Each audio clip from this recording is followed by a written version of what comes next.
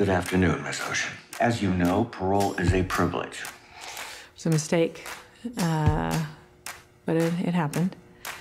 And um, if I were to be released, I would um, I would just want the simple life. I just want to hold down a job, make some friends,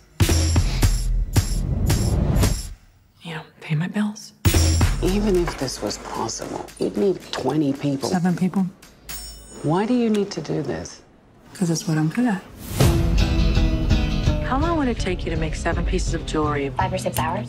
How long if I told you you didn't have to live with your mother anymore? Less. What's your name? Nine Ball. What's your real name? Eight Ball. What if we could make all this go away? Can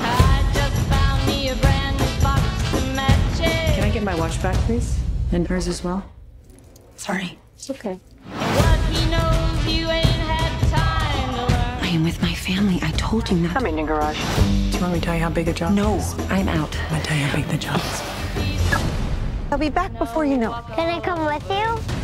This is Mommy's very special work trip.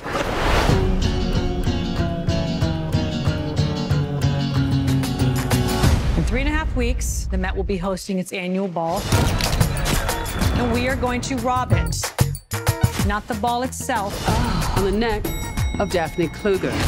valued at over a hundred Million dollars. 150 million, actually. Revenge. It's a twofer. Do not run a job in a job.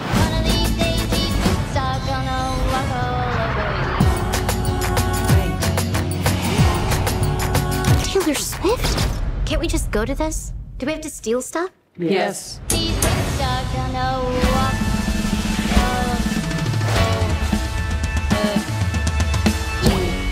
Is it genetic? Are the whole family like this? Literally.